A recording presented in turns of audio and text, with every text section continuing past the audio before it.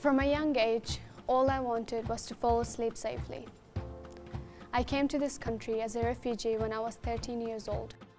Coming to Australia was truly a life-changing experience, but it was bittersweet. When I arrived in this country, I discovered that many people within my new community did not see me as I saw myself. I learned quickly that this was because of how I dress and where I came from.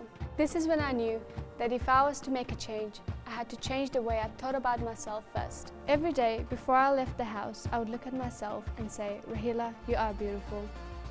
I began to regain my confidence in who I was. My dream is to one day speak in Parliament. I'm passionate about human rights and speaking for those who have not had the opportunity to be heard.